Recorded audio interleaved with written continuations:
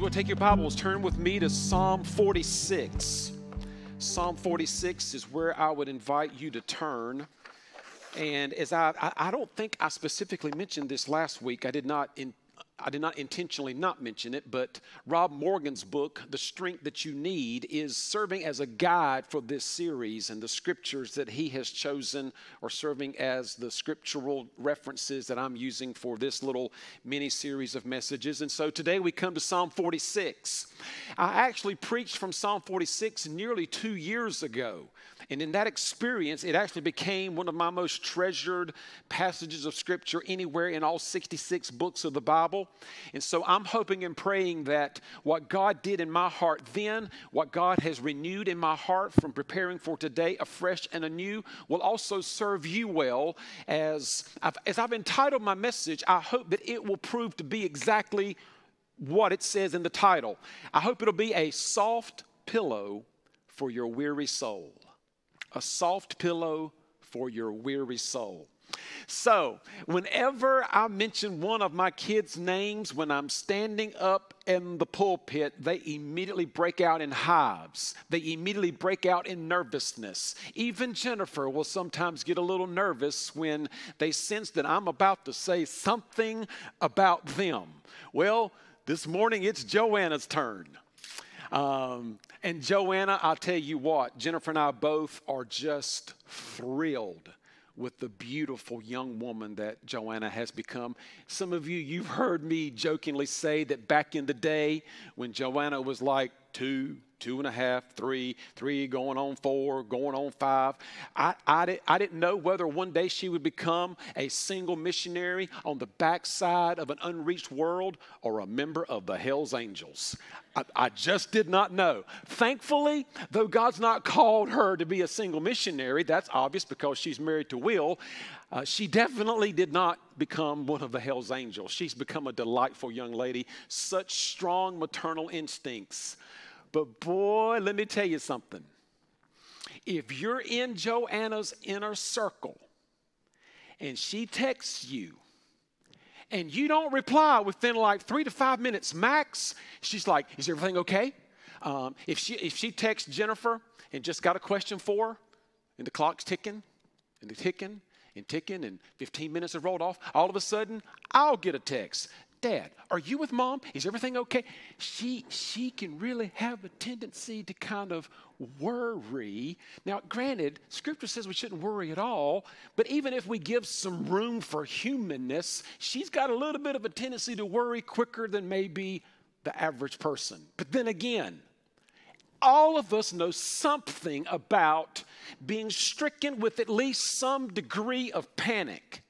Maybe it is someone who is prone to reply to a text within five minutes and it's been 15, 30, 40. Maybe it is somebody that you've called and, and, and you've called and you've called and you've called and there's no answer and, and there's almost always an answer and you leave a message. And when you've left a message in the past they've always returned the call within a matter of uh, a few hours and it's been all day long. Or maybe you get that phone call in the wee hours of the morning and immediately you're wondering who's calling at this time of night? And why are they calling? Panic uneasiness, finding ourselves between a rock and a hard place. There are a lot of things that can generate uneasiness in our souls. Um, a pain develops. And you, you've, you've never felt that before. And it's not just been a few seconds. It's, it's, it's been there for a couple of hours, and then it's been there now for two or three days, and now it's been there for a couple of weeks. Biopsies are ordered by your doctor. Um, I don't know what all you might be going through right now, um, but there are a, a, number of reasons why we can face uncertainties. And so, what are you going to do when those uncertainties come? When you're battling anxiety, when you're facing the unavoidable negative effects of aging, when your children are struggling in school, when your finances are strained like maybe they've never been before. For all those potentialities and 10,000 more, I would like to recommend that you and I open our Hebrew hymnal to Psalm 46, and as one author put, get a big old dose of Psalm 46. Nothing wrong with a dose of medicine and even with a spoonful of sugar to help it go down.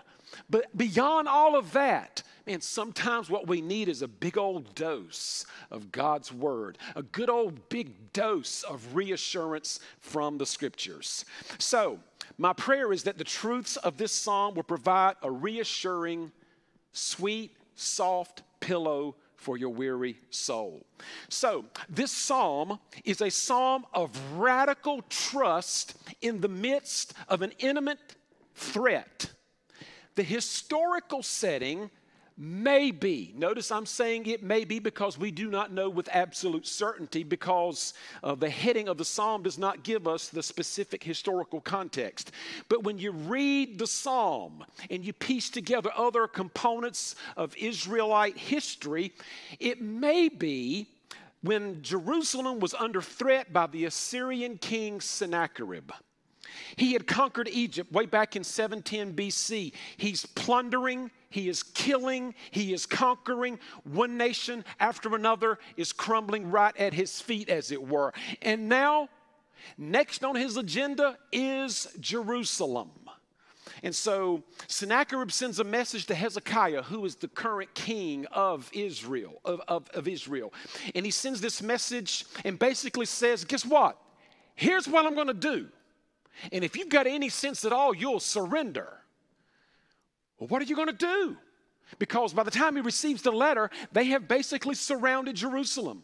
They are besieged. Um, as a matter of fact, scripture tells us that Sennacherib himself described the current setting as having Jerusalem and having Hezekiah surrounded like a caged bird. And the people of Israel, they're aware of what's going on. Um, war seemed inevitable, death, in, uh, war seemed unavoidable, death inevitable, mercy impossible. The residents are trapped. What are we going to do? Hezekiah takes that letter and he goes into the temple with it and he lays it down, as it were, and says, Lord, this is something you need to read.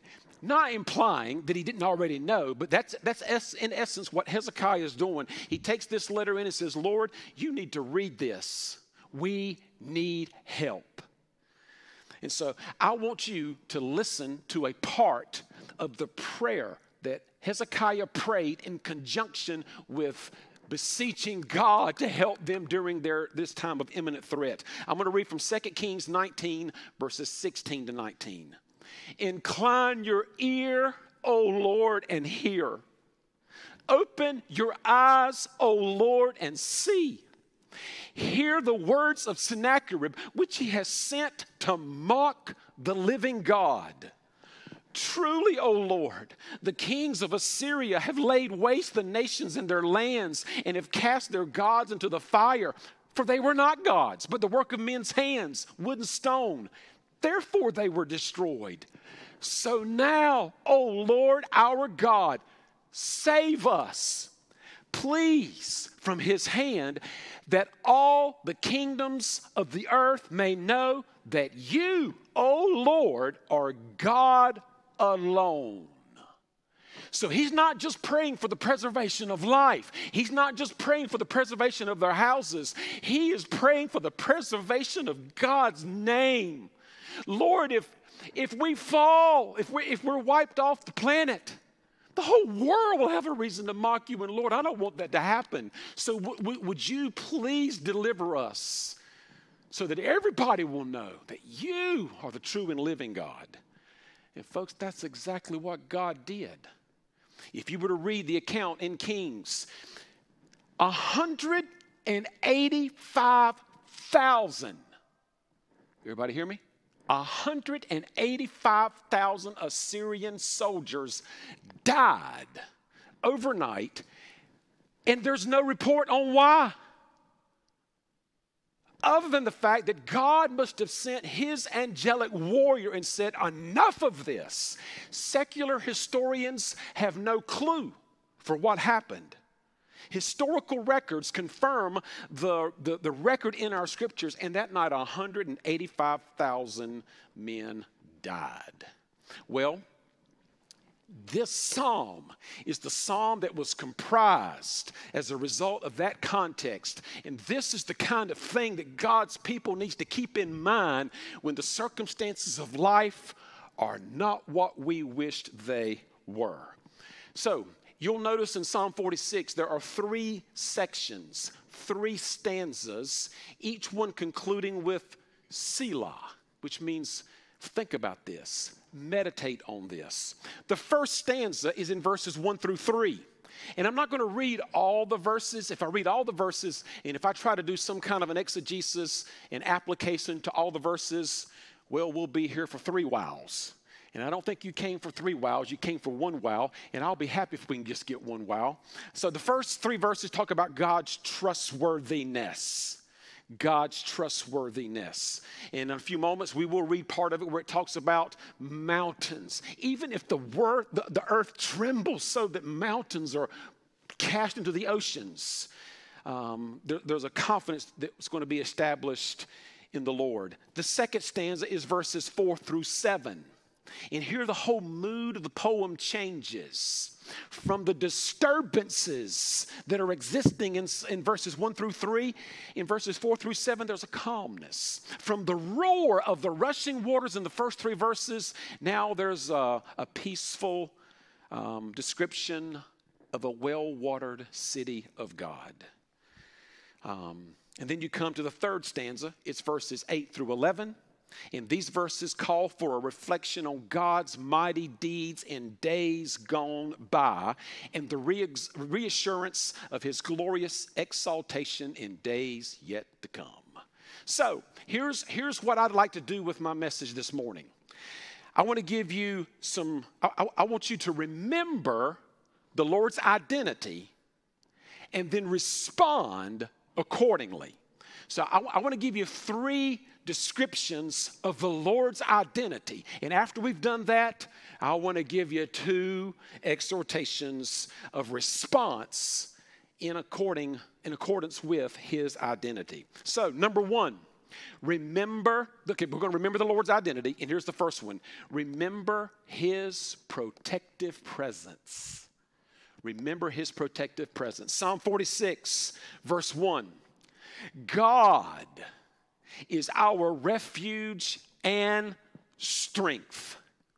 God is our refuge and strength. Refuge, a condition of being safe or sheltered from pursuit, from danger, or for trouble, from trouble. Most all of us know that sometimes there are occasions for diplomats or American citizens in various places around the world if trouble strikes and there is hostility that arises against us. Our diplomats or American citizens will flee for refuge at the embassy. There are some times when a battered and bruised woman will seek refuge in some kind of a safe house because of the way her husband or her ex husband has been beating her. In recent years, an extensive construction project has taken place beneath the west wing of the uh, White House. It's believed to be this super bunker that, under any circumstances of a threat from another country, the president and, and other important people could go there and be safe, whether it's from nuclear, biological, chemical, cyber, or radiological warfare. Rumors are also surrounding, or, or, or, rumors are also floating around that such bunkers are being built in Moscow as well. And you just wonder what, what kind of plans are being made in these bunkers, these places of refuge being in place. Well, folks, I think you and I both know no place on earth is ultimately safe. No place on this earth is ultimately a place of refuge. But we do have such a place, if you will, in the person of Jesus. He's our refuge. God is our refuge. He's our hiding place. He's our shelter of safety. So, verse 1 goes on and says, God is our refuge, a very present help in trouble. That is, God helps you when you need it. God helps you when the need is such that the time is right for Him to help. Now, I don't think I've got critics in here, But just imagine that someone would say, well, no, wait a minute. God is a very present help in time of trouble, and you said that Jesus is our refuge. Well, what about Lazarus? I've heard preaching about Lazarus and Lazarus being one of Jesus' dear friends. And this Jesus that you're talking about being a refuge and a very present help in time of trouble, Jesus knew. Jesus knew that Lazarus was in trouble. His sisters, they saw that he was in trouble. And Jesus, you weren't so much a very present help in time of trouble because Lazarus died. In response, I would say, in part, in some cases, the help we need is not always what we think we need. We usually think we need deliverance from the trouble that we're in, deliverance from the agony, deliverance from hardships. But note, God is described as a very present help in trouble. He's not saying He's going to exempt you from all trouble, but He will be a helper for you in your trouble. God promises His presence during troubles, not the absence of them. Don't listen to those nut jobs that are on some of these cable TV shows. Don't listen to what they write in some of these books that if you'll just have enough faith, all your troubles will go bye bye. It's just not biblical, it's just not sound. Better than deliverance from our troubles is God's presence in our troubles. If God delivered us from all troubles, do you know how sorry and spoiled brats we would be? No. God does not promise us deliverance, He, he promises us His presence in those. So, I think all of you know that it rains on the just and the unjust. In God's sovereignty, in God's providence, the just experience some of the same troubles that the world experiences. The just and the unjust go through tornadoes and hurricanes together. The just and the unjust go through cancer and radiation treatments together. Um, Jamie, and I, I realize not a lot of you know Jamie Merritt. More of you might would know his parents than you know Jamie, but um, Jamie texted me while I was getting ready for this morning, and he said, Jeff, would you please pray for me? I got my first radiation treatment today, and I'm nervous about it. I said, I sure will. And by the way, I'm preaching on Psalm 46 today. It'll be on the live stream this evening. I would highly recommend that you meditate on Psalm 46, the first three verses, and verses 10 and 11. And I, I, believe that'll be a help to him because the just and the unjust go through those things together. The just and the unjust get injured in car wrecks and sometimes die from the same. The just and the unjust go through pandemics together. So, folks, listen carefully. God does not give his people a stay out of trouble pass, but he does promise to be with us until they pass or until we pass. You understand what I just said? God does not give his people a stay out of trouble pass, but he does promise to be with us until they pass or until we pass. So 1527, Martin Luther, one of the leaders of the Protestant Reformation, to whom we owe a debt of gratitude. Martin Luther fell into a deep depression after learning that his dear friend uh, Leonard Kaiser had been burned at the stake in the Netherlands for holding to Reformation doctrines. Luther felt guilty because, unlike his friend who died at the stake, he was at home. He was enjoying the comforts of regular life. Luther turned to Psalm 46 and he pondered it and he meditated on it. And he kept pondering and meditating until he wrote a, a, a, picture about its truth, giving us one of the greatest hymns that the church has ever sung that's based on Psalm 46. It says in part, A mighty fortress is our God, a bulwark, never failing. Our helper, he amid the flood of mortal ills prevailing. That's our God. So I want you to remember the Lord's identity. Remember his protective presence. Number two, remember his providential power. Remember his providential power. For that, you could look, make a note in verse 6 and verses 8 and 9. But notice with me verse 6. The nations rage, the kingdoms totter. He utters his voice, and the earth melts. He utters his voice. So I've coached basketball. Well, with, with my kids, I've coached basketball, soccer, uh, baseball, volleyball. I've done a little bit of it all. And I've played most of the same, and some of you have. And I can remember even um, Rod Whitley, Alice's husband, coaching us in the Teens of Flame Athletic Conference. This was teen uh, basketball. And I can remember him. So keep in mind, we, we would play about half our games at the old Grace Church gym.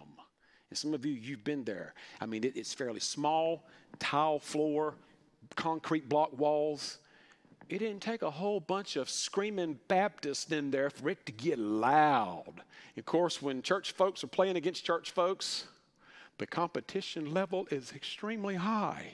I didn't say the play was extremely high caliber, but the competition's high. And so, in that gym with a bunch of parents and church folks screaming and hollering their teams on, it could get loud. And I can still hear Rod Whitley saying, when you get on that court, I don't want you listening to your parents' voice. I don't want you listening to your girlfriend's voice. I want you to listen to my voice. And so, even when um, basketball is played on a high level, whether it's at Cameron Indoor Stadium with the Cameron Crazies, Coach K wants his players to hear his voice above all the noise. Well, folks, God wants us to hear His voice above all the noise of this world.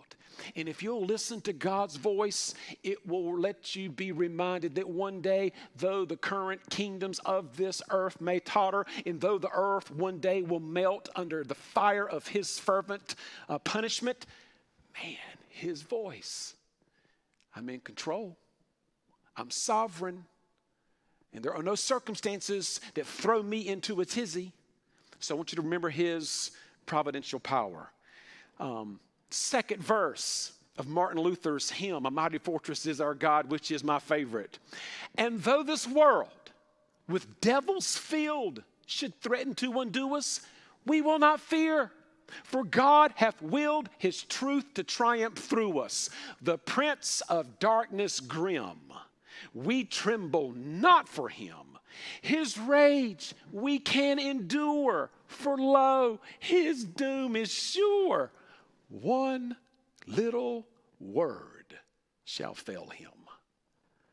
Folks, Satan rages. He's a roaring lion. And the day is coming when our God will just speak a word. And into Gehenna for all eternity, he will go. So I want you to remember his providential power. Thirdly, I want you to remember his preeminent position. His preeminent position. Drop down to verse 10. God speaks and says, I am God. I will be exalted among the nations. I will be exalted in the earth. Now we know that there is a New Testament parallel to the truth of Psalm 46, verse 10. And it's found in Philippians chapter 2, in verses 10 and 11. And you're familiar with it, though you might not readily remember what the scripture reference is. The day is coming when every knee will bow and every tongue will confess that Jesus is Lord. That Jesus is exactly whom we believe him to be right now. One day, every knee's going to bow, every tongue's going to confess that Jesus is exactly whom the scriptures said he was God, King, Messiah, Savior. So we, have reflected and tried to remember the Lord's identity. Now, I want to give you two responses to those identity marks. Number one, fear not. Fear not. but trust in him as your Savior. Uh, verse 2.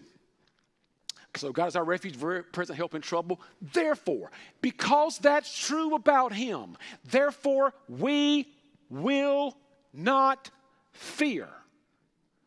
We will not fear. Now, granted, if you, if you want to reread verse 2, in any translation you want, you won't find the word faith there. But I think it's implied that if I'm not going to fear in light of who my God is, that means I've got faith in his identity. I've got faith that he if he says he is who he is, if he is our refuge, if he is a present a present help in trouble, and therefore my response is not going to be one of fear, it means that I have faith. I have faith in God's trustworthiness. I have faith in his faithfulness. So, as one writer said, what matters is not whether you have faith, but whether who or what you have faith in is trustworthy. Man, you can have all the faith in the world, but if the object of your faith is not trustworthy, is not strong, is not reliable, is not omnipotent, well, that, that ain't going to work out under certain circumstances. But our God who is who He is. And because He is, we can fear not. Praise the Lord. Our God is perfectly and wondrously trustworthy. And therefore, we will not fear, this author says, we will not fear though the earth trembles, though the mountains crumble into the sea, though its waters rage and foam, though the mountains quake. So, so what, what, what might we need to put in that equation for your though? I would like to urge you, my dear brothers and sisters, I would like to urge you to say in your heart, in your soul, I will not fear, though I go through a financial crisis. I will not fear, though my marriage ends up dissolving. I will not fear, though my spouse dies. I will not fear, though I lose my job. I will not fear, though my closest of friends betray me. I will not fear, though my health is rapidly deteriorating. I will not fear, though I'm all alone in this house that seems so big now. I will not fear, though the doctors do not have any answers at the moment. I will not fear, though some of my dearest family and friends have died. I will not fear, even if I test positive for COVID 19. I will not fear. A second response that I think is appropriate for any and all believers to give to God in light of who He is. Fear not, trust in Him as your Savior, and then be still. Be still. Yield to Him as your sovereign. So that brings us drop down again to verse 10. Verse 10 says, Be still and know that I am God. Be still. In other words, cease and desist. Stop running around like your whole life is out of control. Stop the panic. Stop all that you might be doing to act as if you're actually in control when you're not. Just be still. Stop striving. Stop manipulating. Stop trying to orchestrate your life. Quit trying to control everything and, every, and everyone. Just be still. Be still and know that I am God. This is not just head knowledge. Now, I, I, I, have appealed to your head knowledge. It's got to be there to begin with, but that head knowledge needs to make a straight line to our heart. And what, what we know from Scripture needs to affect how we respond. There's no reason for fear. There's every reason to be still and to be calm and to be collected and to be confident because of who our God is. It's as though God is saying, Stop trying to play God and know that I am God. And so it's as if God says, If I'm going to take care of the nations, can I not take care of you? If I can handle all the challenges facing the world, can I not handle yours? If I am in control of the noisy chaos and all the corruption touching this world, can I not control that which touches your world? And I think we all know the answer is yes. This is the same counsel that Jesus gave to his disciples, remember? Three reasons why they were troubled. One of them's going to betray, one's going to deny, and Jesus says, I'm not going to be here, but it's just another matter of hours, days. And they were troubled. And what did Jesus say? Let not your hearts be troubled. You believe in God, will believe also in me. And then he reminds them of his plan for the future. You believe in God, believe also in me. Let not your heart be troubled. So, uh, Rob Morgan, in his book, tells the story that Psalm 46 has actually been called the earthquake psalm because it avows God in an unchanging as an unchanging refuge in tectonic times. Perhaps it's also acquired this title because of a series of events that shook London in 1750. On February the 8th, an earthquake rattled the British Empire and terrified the whole city. Not only did the buildings shake, but there were reverberating noises that almost sounded like claps of thunder that just kept repeating themselves. Inhabitants who were struck with fear ran into the streets, afraid of being buried alive in their homes or in other buildings. A month later, evangelist Charles Wesley was beginning an early morning sermon when another earthquake struck, a far wor- worse one. Worshippers panicked, fearing their church building would, would collapse. People were screaming, children were crying. Wesley, to his credit and to, and to God's credit, Wesley had the presence of mind on the spot to quote parts of Psalm 46. We will not fear, though the earth be removed and the hills be carried into the midst of the sea, for the Lord of hosts is with us. The God of Jacob is our refuge, he said. He later said that God filled his heart with faith and his mouth with words to calm and comfort his listeners. Ten days later, another earthquake rattled the south coast of England, and a prognosticator said that an even worse one was a coming. His words were widely accepted, and people lived in fear. They camped out in the streets and squares, afraid their houses would fall on them. Multitudes actually turned to Jesus for salvation because they were fearful that Judgment Day was coming. That final predicted earthquake never came. But to reassure the populace, Wesley published two small collections of hymns that have since been referred to as his earthquake hymns. One of them is based on Psalm 46. God, this is what it says in part God, the omnipresent God, our strength and refuge stands ready to support our load and bear us in his hands. Doesn't these truths that we've looked at tonight provide a soft pillow for your weary soul? Um, any of you have trouble sleeping? I'm, I'm not having trouble now. I'm actually taking a couple of things that seems to do the trick. Nothing prescription yet, but uh, I went about 18 months or so where my sleep was very disrupted. I, might have a hard time going to sleep, or I might fall asleep, wake up, or I might wake up at 2:30, 3:15, 1:37, and have a heart. So I can sleep better now. Are any of you having trouble sleeping because of what's going on in the world or in your life?